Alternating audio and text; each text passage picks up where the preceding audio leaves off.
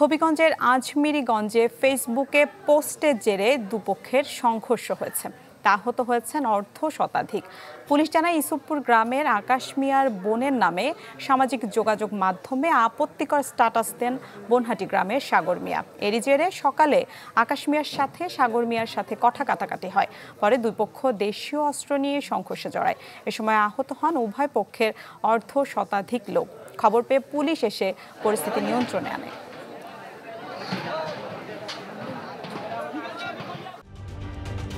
ঢালাইয়ে দৃঢ়তা নির্মাণে নিশ্চয়তা প্রিমিয়ার সিমেন্ট ঢালাইয়ের রাজা।